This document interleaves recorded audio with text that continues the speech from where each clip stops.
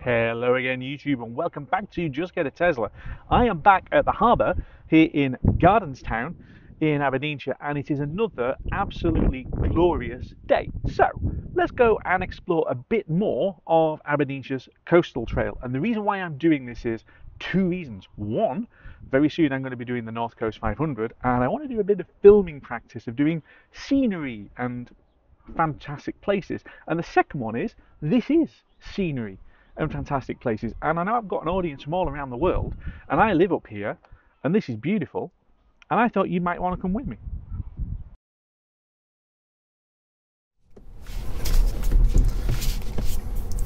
Obviously, we want to ease it uh, off uh, this bit of harbour because I don't want to fall straight off uh, into the water. That wouldn't be good.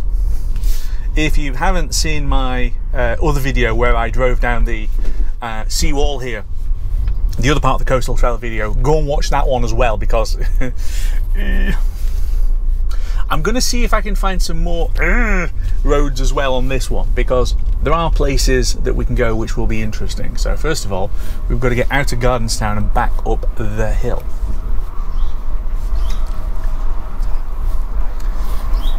I do love it when people decide to walk on both sides of the car. It's like, come on, guys, do me a favour.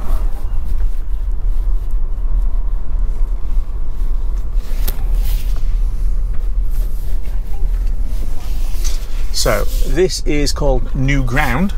Kind of gives it away on the name of the street, doesn't it, as to what this bit is. And then up we go, and it is kind of up, up, up now uh, as we climb uh, up all of these mad switchbacks to get out of Gardenstown proper.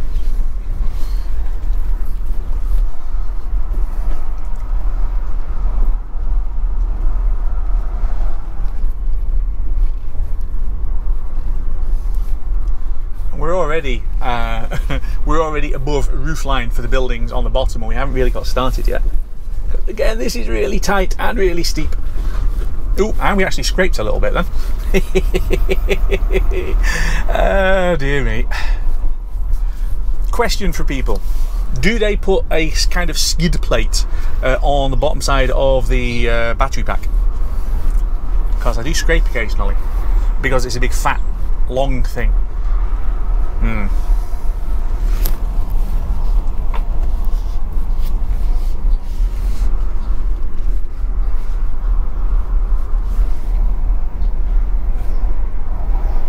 Lovely springtime daffodil lilies. And we're already climbing to an absolutely crazy height. And we're still going. And we've still got another couple of hairpins to come.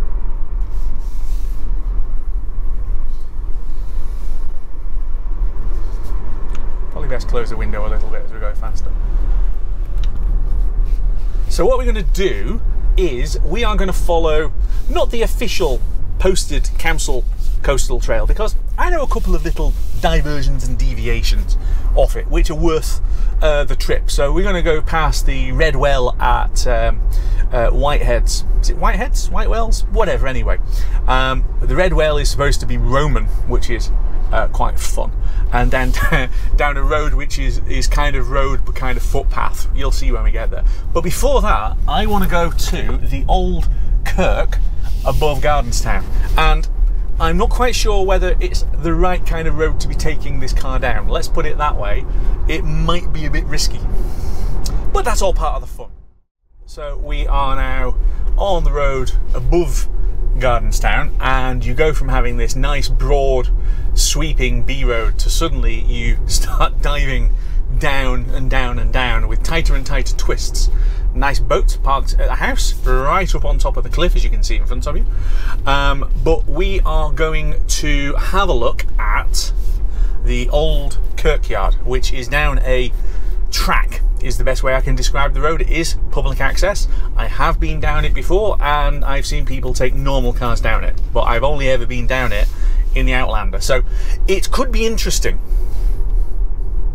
with the emphasis on interesting. So we're going to do it anyway, and I'm basically doing it for uh, you guys and because I'm curious. Because when I first got this car, I wondered would it go down it, but until now, I haven't even attempted it. So let's give it a go. So we cross the uh, little stream at the bottom and we start to climb up, and then we are going to turn off almost immediately and go down here towards the old Kirk. And already I can see that that is an exciting change of gradient. I went over that okay.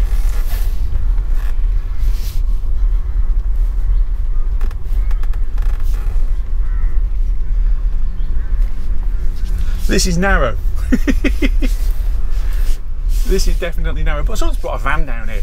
If you can get a van down here, then you should be able to get this down here. But we're going to find out, aren't we? Do not park in passing places. Yeah, you're not kidding. Once you're on this, you basically have to do it to the end because there isn't really anywhere to turn around. So I am going to take this nice and steady try and avoid the worst of the potholes, of which there are many, many, many, many, many. God, a lot of potholes. But the view. I mean, I know I say, oh wow, look at the view quite often when I do these trips, but oh wow. And then you can start to see the village of Gardenstown. Obviously, we've just come out of the harbour.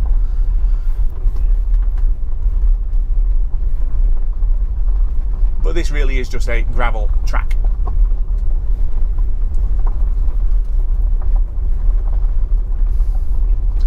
It's the twists on the bottom that I'm looking forward to the most.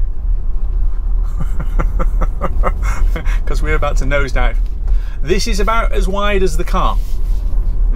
I mean, the seawall in Gardenstown is about as wide as the carbon. We've done that quite a few times, so I'm sure this will be fine as well.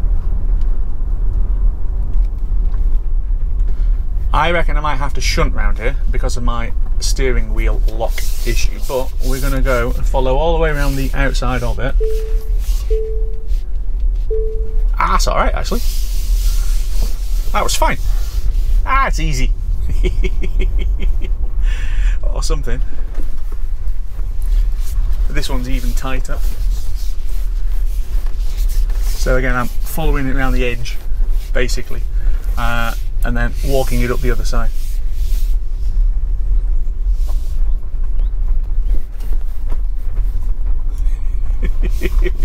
this is not a usual kind of place to take a car like this. But that's all part of the fun, isn't it?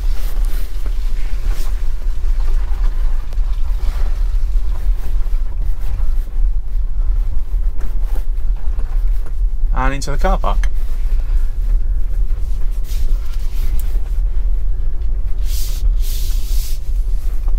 So I'm going to go for a walk before I carry on and do any more videoing because it's an absolutely gorgeous day and the old Kirk is quite interesting. So I'm going to take the phone with me and then show you a wee little bit of that. And again, it's worth doing primarily because when I do the North Coast 500, I think you probably want to see some bits of the places I'm going to as well. So it's worth it for a bit of practice.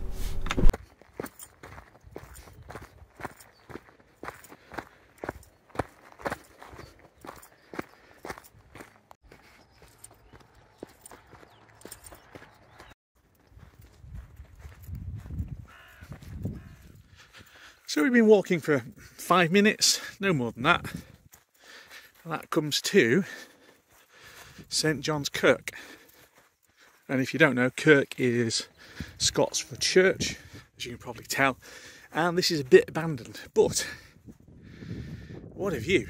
So that is Gardenstown, closest to us, as you can probably tell. And actually, if we go a bit further up, yes, you can see the sea wall. So basically, down there where the cars are. So that's the car park at the end, and then you can see the seawall just running alongside the houses. It is quite stunning. And then beyond this, over there, yeah, that's focus. We've got Crovie and its own crazy steep road, and that hairpin, which again we've been round in the car. And it's all here in this same bay with this amazing old church. Pretty, isn't it?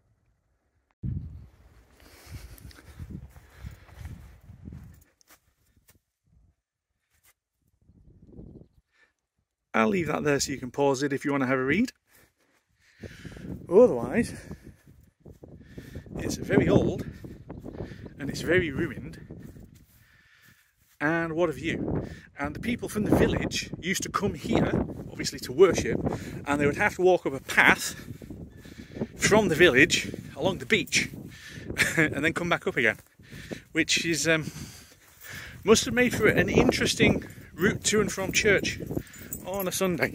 Now, if I recall, some of these are really quite old. I think the oldest is inside here, or there's some stones anyway that are, I mean, you can tell. This is old. It's also kind of broken. Uh, where were we? What date have we got on that? Again, I'll leave that so you can pause it, but um, yeah, not entirely sure. Uh, which one was it? I'm sure there was one that was like really, really, really old. That's AD 17 down here, AD 17 something. Can't quite tell. It's old. Oh, that's actually quite new, 1915. Okay. But you can tell this was a little community church. Um, unfortunately, it's kind of in ruins now, which is a pity because it is just in this amazing, amazing location.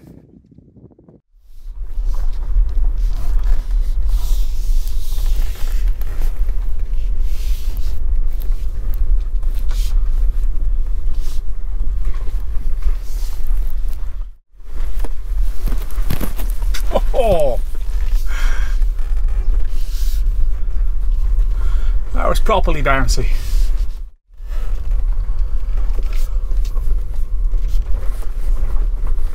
Uh, Again, all the way around the outside.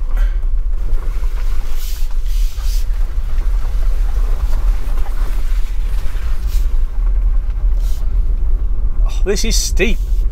You don't realise just how steep it is until you go in this way.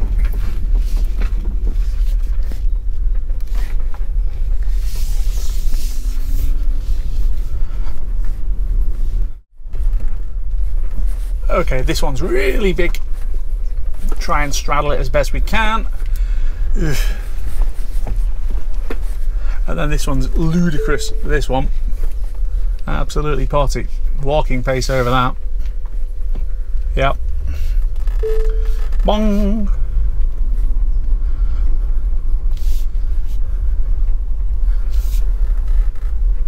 I think the only other potential pinch point is leaving this driveway at the top where I suspect it's going to be a bit of a exciting change of gradient, shall we say. So we'll try and line it up so we don't ground it. Probably be helpful. And then you actually have to go the wrong way out uh, and then uh, do a U-turn.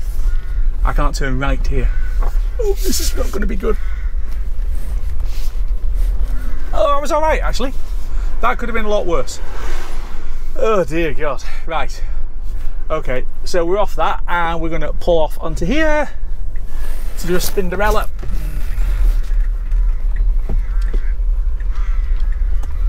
Actually easing it on there as well. Okay. Good. well, that was fun, wasn't it?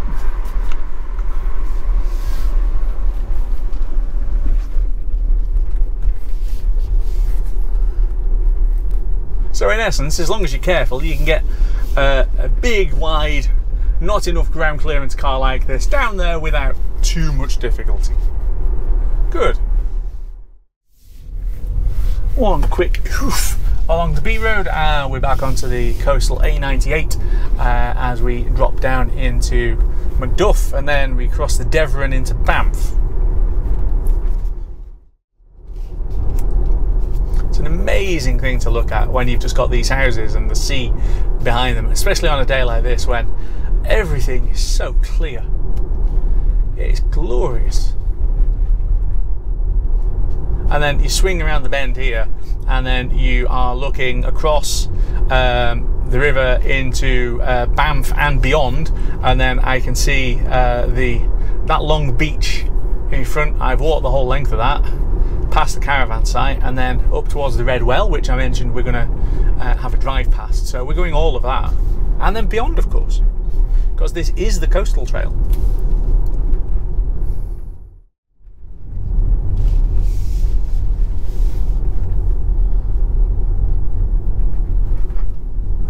Renault Zoe. Yeah, Aberdeenshire Council does run quite a few electric uh, vehicles like that one.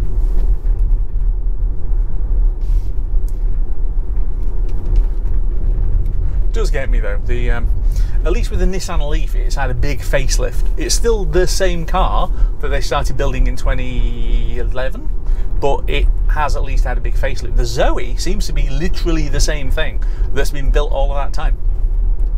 Now, I can't really complain about that considering that I'm in a Tesla Model Y and the chances are that this is just going to keep going and going and going uh, with a couple of minor tweaks. Um, but it's still quite funny. You just look at it and think, ah, is that still going? Are they still making those?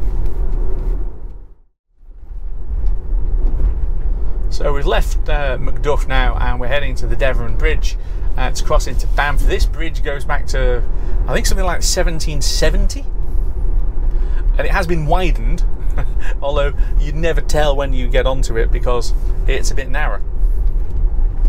It's fine if you're in a car, less fine if you've got two trucks going at each other, which does happen alarmingly often actually, and you literally have to shove yourself as hard up against the curb as you dare and then trundle along the top. There's not actually a line marked because it's that narrow. Oop, Ferrari that's too wide for on here. And we're not going to follow the exact coastal trail. Like I said I know some wondery little bits. So we're going to have a, a, a meander uh, up here and past the uh, harbour in Banff before we um, head out towards Portsoy but before Portsoy the Red Well. Not sure how old this pink building is but it is properly old. Actually hang on. It says ooh 1675 yeah that's old. That's really old. And I love it when you get buildings that just stick out into the road like this, which obviously significantly predate um, cars, basically. When they laid this place out, cars didn't exist. Hell, I suspect a lot of people didn't even have a horse and trap. Horse, maybe. Again, it's quite narrow for a big car like this, but we get down it.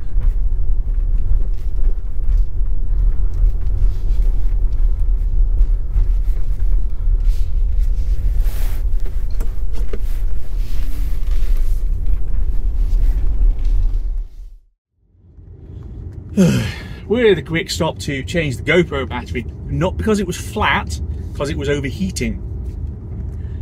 GoPro buyers. They're not good for shooting in 4K. They overheat.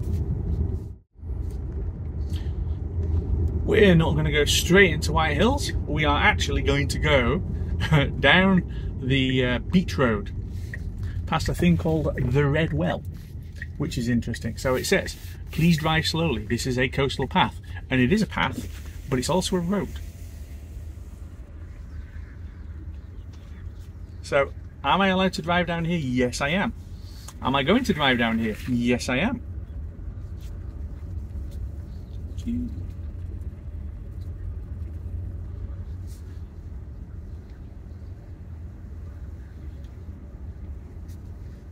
It is a trundle, but that's fine.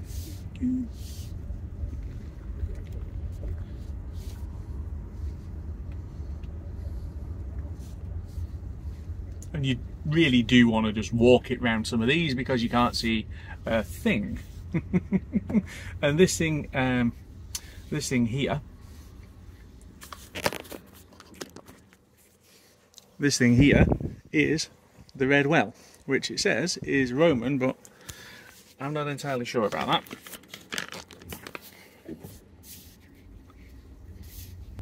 So there's a car park here at the bottom, but you don't have to stay there you can carry on driving. Coastal path, drive slowly. Oh, I will, but it is a road, so I can drive it.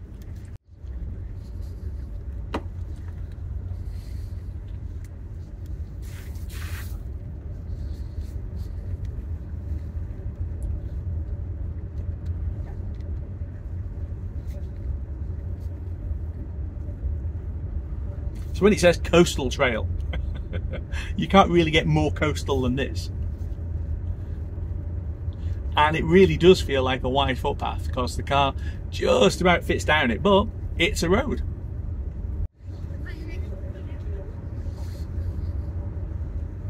We're back to sand dunes again. So having had a big um, load of cliffs and up and down, we're back to flat and sand. And I just find the, the differences in this coastline to be amazing. Boatyard.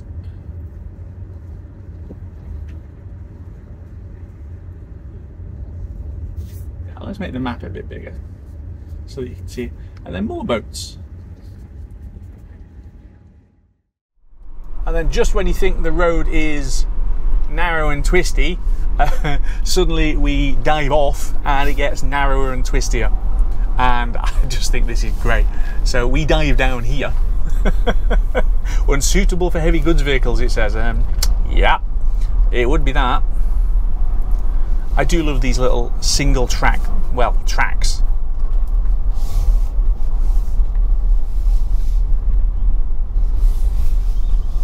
Where you literally just waft uh, the car down them at not much above, above walking speed, really. And then you've got this really narrow and I'm sure quite old bridge, which again we fit down. I love the idea of taking an HGV down. Actually, you know what? That's quite tight. It's not outrageously tight, but it's a bit pinchy on that end. The idea of taking an HGV down here, or even trying, would be absolute complete madness. so to my map. Put the map back on straight.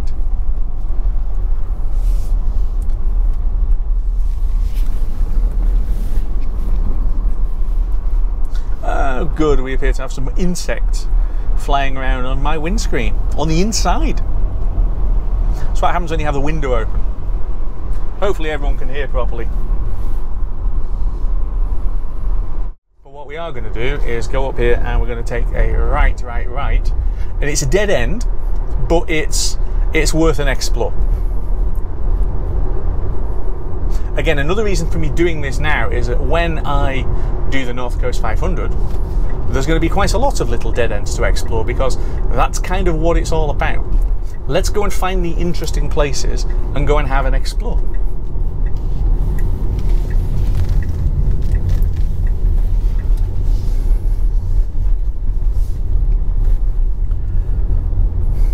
Ooh, I've just realised there is actually another way out of Sandend, so maybe we'll do that.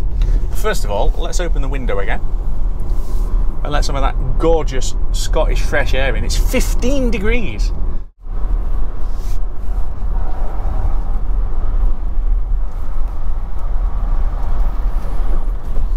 So again, we're just on a shelf uh, with houses tightly packed into the road on the left and a drop down onto the beach uh, on the right. Ooh, is that a Mercedes what? EQC? EQA? Think it's an EQA. Hello, doggy woggies. Thank you very much.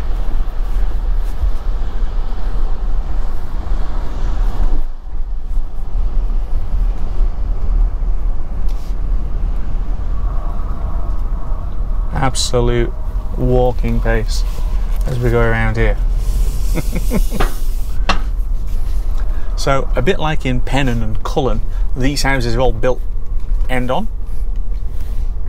And that's done so that when the weather is bad and the storm is throwing the sea at them, basically they're not getting absolutely battered through their windows and so on. Now, we're not going to go any further up because this is basically it. So, we're going to do a Spinderella here. Ooh, Nissan Leaf. See, you can drive EVs wherever you want to.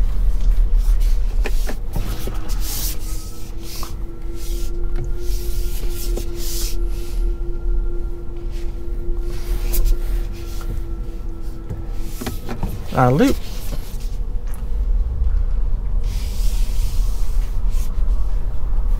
And then back again. Just to have a look, really.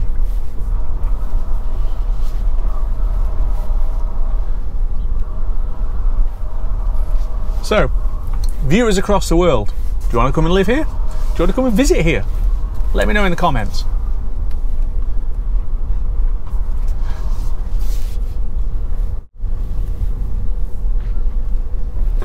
Pretty spot.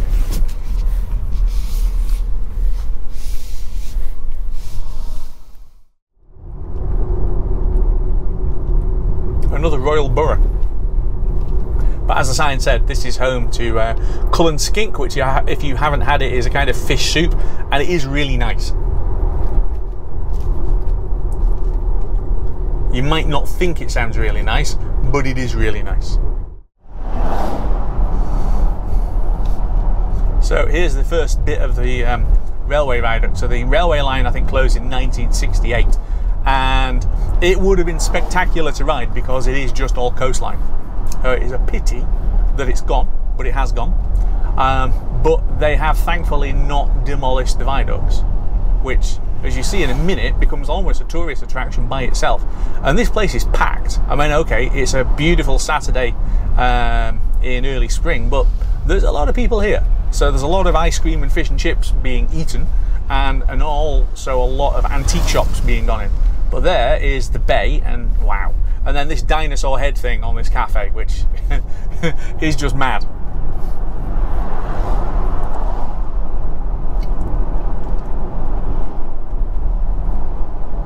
So the old railway is now up on an embankment uh, to our left, but here comes the um, the bigger of the viaducts,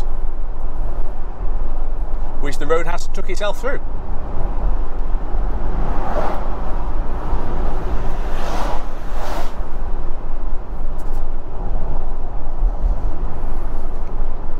And it is a wiggle.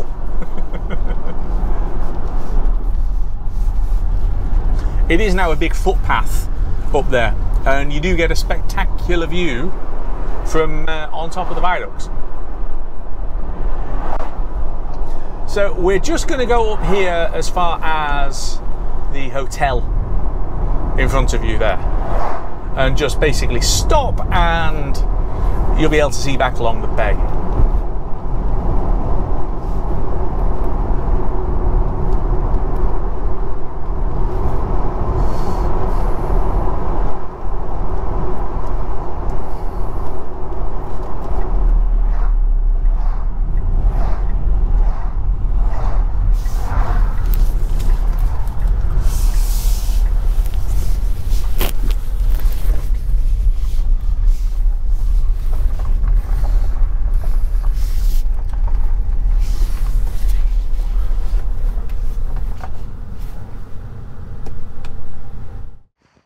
And that is it for this episode of Just Get a Tesla. And I cannot see a thing while I'm videoing this because the sun is so bright in my face. But I'm hopeful that you can see behind me just how beautiful a spot this is. And it's a fab hotel actually with a brilliant restaurant. So anyway, like and subscribe, hit the bell icon, and I'll see you very soon next time on Just Get a Tesla.